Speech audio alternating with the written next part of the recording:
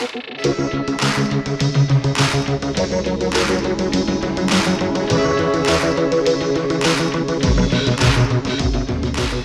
right now I'm checking out their latest announcements and one of them being the Intel Atom X3 processor.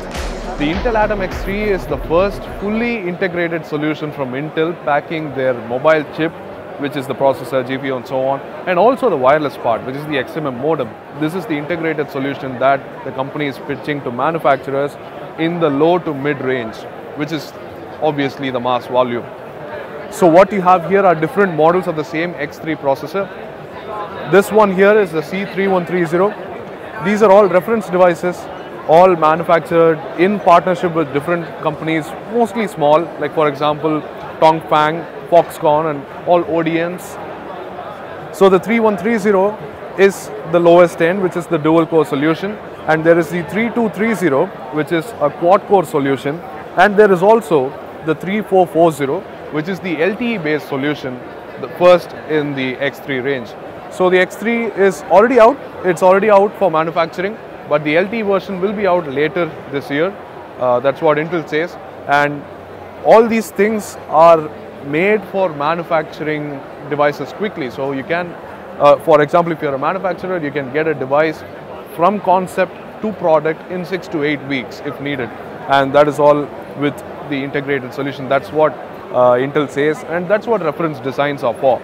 So this is the Intel Atom X3 C3440. They have a bunch of demos and we are going to check them out one by one to see what this chip is all about. So let's go ahead.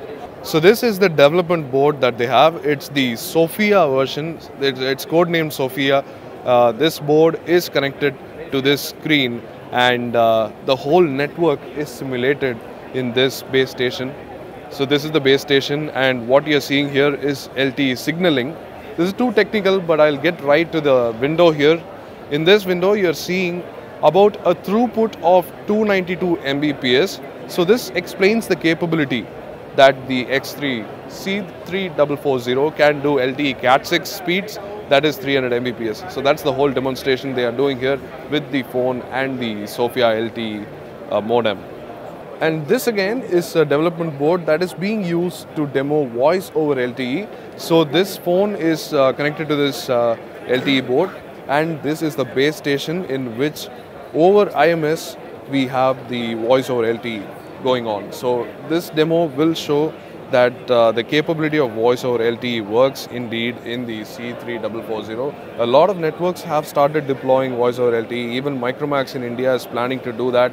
So we'll see a lot of this soon, but it seems that Intel is finally going mobile with all the ready-made chipsets that they want to push in the market. So in this demo, to demonstrate that the C3440 has five modes, the data traffic is simulated to show a maximum throughput of 110 Mbps over here. And this is basically LTE TDD. What we saw in the Cat6 demo was LTE FDD, and this is TDD, and uh, the data throughput is just as a show of proof that the modem can do all modes which is 2G, 3G, TDD LTE, FDD LTE and TD-SCDMA which is very popular in China. So it supports all the modes in a single chip and you can actually see the single chip here which is just a small part of the whole chipset. So in this demo we are seeing the LTE live broadcast simulated in real time using the end-to-end -end solution. So this is actually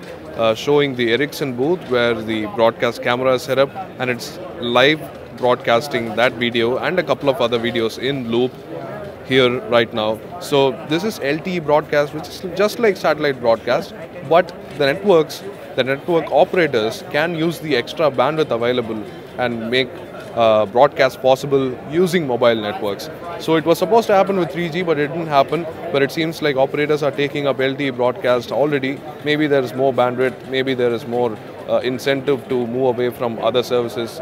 So this is uh, LTE broadcast powered on the Intel XMM 7260 platform. This is not the integrated solution, this is just the modem, but the X3 C3440 has the XMM 7260.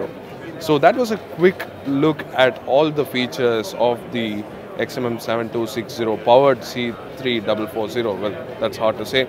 But yeah, that's the Intel X3 announced at uh, Mobile World Congress, and that was a quick tour of all its features.